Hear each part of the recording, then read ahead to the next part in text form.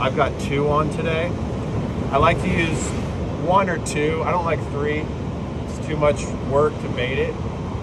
But I use two because a lot of times you'll lose your bait um, trying to set the hook, and it's good to be able to still fish one bait that's still working in there.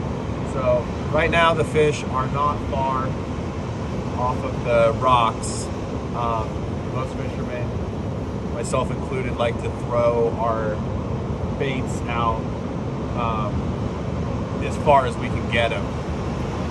Um, so let's see what we got here.